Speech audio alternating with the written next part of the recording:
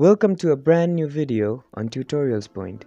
In this video, I'm going to teach you some easy steps on how you can sign out of your eBay account. Before we start the video, don't forget to like, share and subscribe to the channel for more such useful tutorials. Without further ado, let's move on with the video.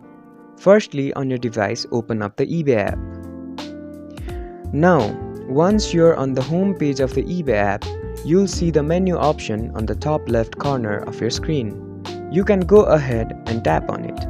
Once you've tapped on the menu option, a menu will pop up on your screen.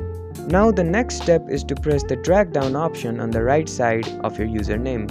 After you press the drag down button, two options, profile and sign out will appear on your screen. For you to sign out of your account, you will just simply have to tap on the sign out option on your screen. I hope the video helped you to sign out of your eBay account. Don't forget to like, share and subscribe to the channel for more such useful tutorials. Thank you for watching.